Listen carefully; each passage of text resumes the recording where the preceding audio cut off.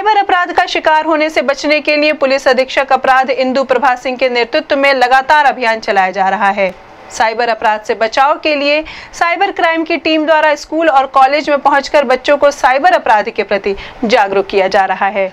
इस संबंध में गोरखपुर न्यूज़ संवाददाता से बात करते हुए एसपी क्राइम इंदु प्रभा सिंह ने बताया कि बच्चे यह जान लें कि सोशल मीडिया पर अगर वह गलती कर रहे हैं तो वह छुप नहीं सकती है। कुछ ही दिनों में उनका नाम उजागर हो जाता है।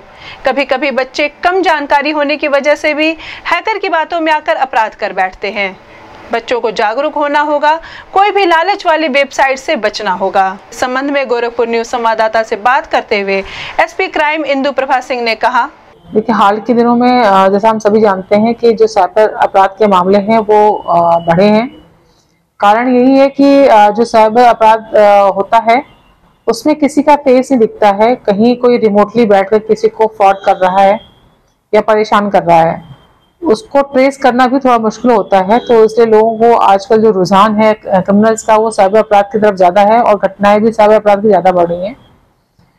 इसमें एकमात्र उपाय यही है कि आ, लोग अवेयर हों और कम से कम आ, शिकार बने ऐसे फ्रॉडलेंट लोगों के।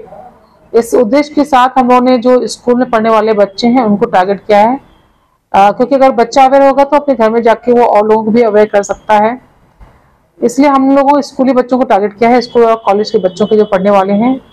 आ, और आ, उनके माध्यम से हम एक ऐसा समाज तैयार करने की प्रयास कर रहे हैं जो साइबर अवेयर हो और कम से कम ऐसी फ्रॉडलेंट एक्टिविटीज़ का शिकार हो।